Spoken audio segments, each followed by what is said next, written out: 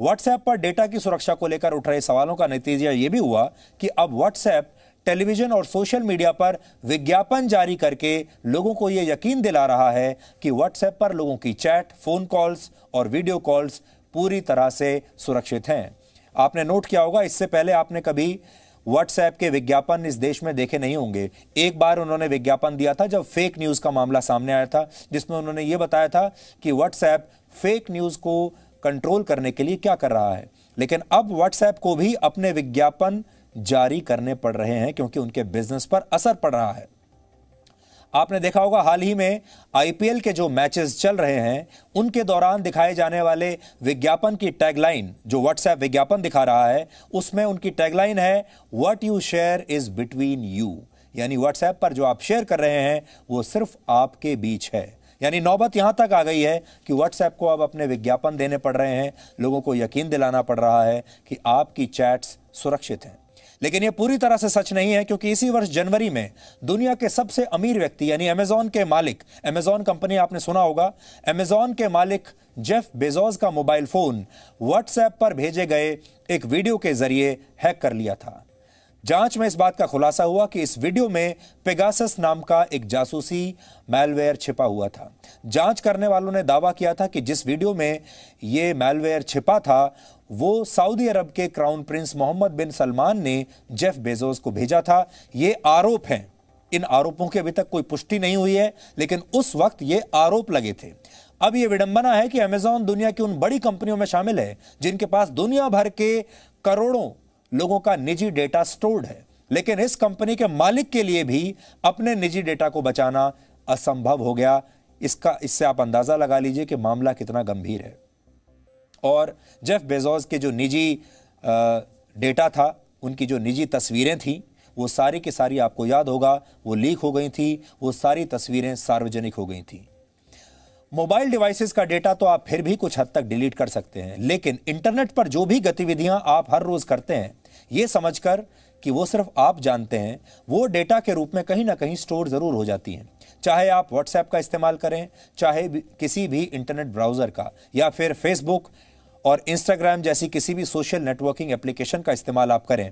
आपका डेटा अजर है और अमर है। अब आपका डेटा मर नहीं सकता। और इंसान के मरने के बाद भी उसका डेटा हमेशा जीवित रहता है और डेटा हमेशा जीवित रहेगा। जब आप इस दुनिया से चले जाएँगे, तब भी आपका प्राइवेट डेटा यही रहेगा और हो सकता है कि आपकी मौत के बाद वो डेटा सार्वजनिक भी हो जाए और लोग आपकी मौत के बाद उस डेटा के आधार पर आपको जज भी करें। आपके बारे में बात भी करें, आपके बारे में गॉसिप भी करें। इसलिए अब बहुत सारे लोग कानूनी तरीके से अपनी वसीयत बनाकर अपना डेटा अपने उत्तराधिकारियों को सौंप रहे हैं। यानी लोग अब यह भी तय करने लगे हैं कि उनकी मृत्यु के बाद उनके सोशल मीडिया अकाउंट या डिजिटल डेटा पर किसका अधिकार होगा और कौन इनका इस्तेमाल कर सकता है, यानी उनके सोशल मीडिया अकाउंट्स को अब आगे चलकर कौन ऑपरेट करेगा।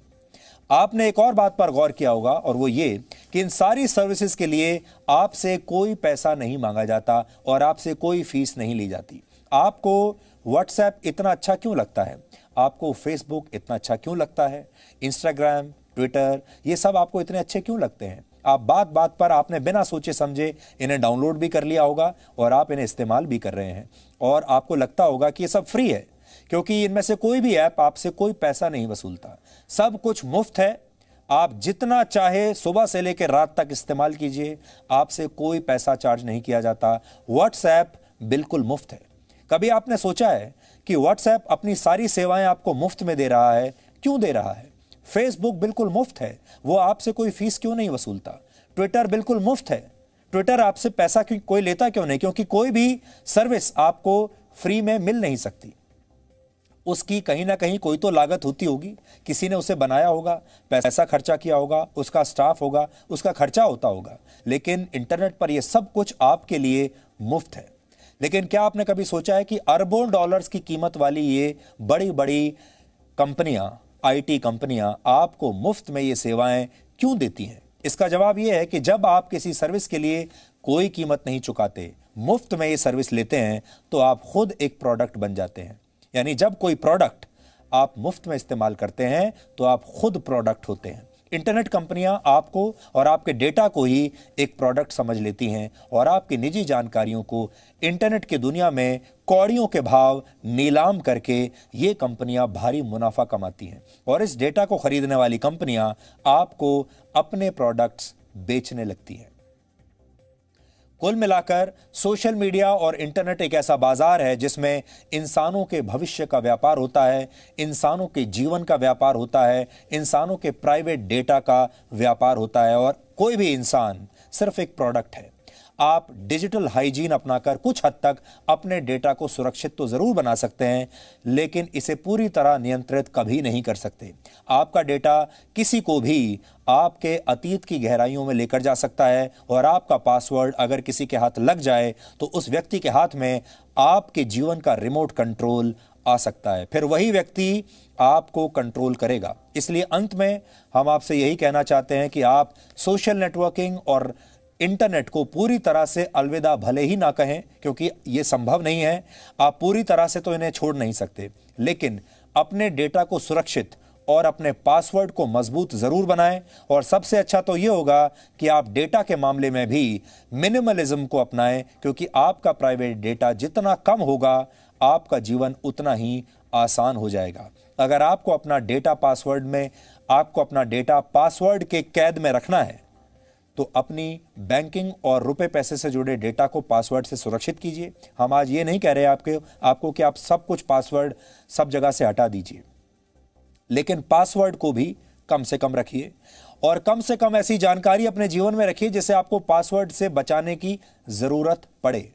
जैसे आपके बैंकिंग से संबंधित जो डेटा है, आपके रुपए पैसे से संबंधित जो डेटा है, आपकी जो और दूसरी जानकारियाँ हैं जो आप याद रखना चाहते हैं उनसे संबंधित जो डेटा है, उसे ज़रूर आप पासवर्ड में रखिए। लेकिन अपने जीवन में ऐसी चीज़ें कम से कम कर दीजिए, जिन्हें आपको पासवर्ड से पासवर्ड में कैद करना पड़े। क्योंकि आपने एक नई चीज़ अब देखी होगी। इससे पहले लोग अपने अतीत के बारे में ज़्यादा से ज़्यादा लोगों को बताना चाहते थे। अपने अतीत में जो कुछ हुआ है, उसे धरोहर की तरह संभाल कर रखना चाहते थे। लेकिन अब एक नई चीज़ आ रही है। शायद इसीलिए कहते हैं कि जो लोग पासवर्ड का इस्तेमाल नहीं करते, वो सबसे ज़्यादा मज़बूत होते हैं। जिस व्यक्ति के मोबाइल फ़ोन में पासवर्ड नहीं है, आप समझ लीजिए, नैतिक रूप से और मानसिक रूप से वो सबसे ज़्यादा मज़बूत होते हैं, क्योंकि उनके पास कुछ ऐसा है ही नहीं जिसे पासवर्ड से सुरक्षित किया जाए। लेकिन साथ ही ऐसे लोगों से आपको डरना भी चाहिए, क्योंकि इनके पास खोने के लिए कुछ नहीं होता। यहाँ तक कि कोई निजी डेटा भी नहीं। यहाँ आपको एक बात और समझनी चाहिए, और वो ये कि आप व्हाट्सएप की जगह किसी दूसरे ऐप का इस्तेमाल कर लेंगे। हो सकता है आज आपके मन में ये चल रहा हो कि व्हाट्सएप सेफ़ नहीं है तो आप दूसरे ऐप पर चले जाएँगे। फिर दूसरा ऐप क्रैक हो जाएगा तो तीसरे ऐप पर चले जाएँगे। भागते रहेंगे एक ऐप से दूसरे ऐप। जब वो ऐप भी सुरक्षा के मामले में कमज़ोर साबित होगा तो आप किसी तीसरे ऐप का इस्तेमाल करने लगेंगे। लेकिन यह सिलसिला रुकने वाला नहीं है। आप ऐसे ही भागते रहेंगे। इसलिए ज़रूरत इस बात की है कि आप अपने डेटा को अपनी गुलामी का कारण न बनने दें और सोच समझ कर ही अपना डेटा कंपनियों के साथ शेयर करें। और एक नई चीज़ जो हम आपको बता रहे थे आपके जीवन में आ रही है, वो ये कि अब ज़्यादा से ज़्यादा लोग अपने डिजिटल फुटप्रिंट को नष्ट करना चाहते हैं, उसे मिटा देना चाहते हैं, उसे डिलीट करना चाहते हैं। आप ज़्यादा से ज़्यादा ऐसे लोग मिल रहे हैं जो ये कहते हैं कि मेरा जो डिजिटल फुटप्रिंट है, यानी उनका जो अतीत है, अपने अतीत में उन्होंने जिससे जो बात की है, अपने अतीत में उन्होंने जो तस्वीरें शेयर की हैं, कुछ भी किया है, जो आपकी पूरी इंटरनेट की एक्टिविटी है, आपके अतीत की, लोग उसे डिलीट करना चाहते हैं इरेज करना चाहते हैं, उसे भुला देना चाहते हैं चाहते हैं कि उसका कोई सबूत अब ना बचे। है ना, कितनी अजीब सी बात।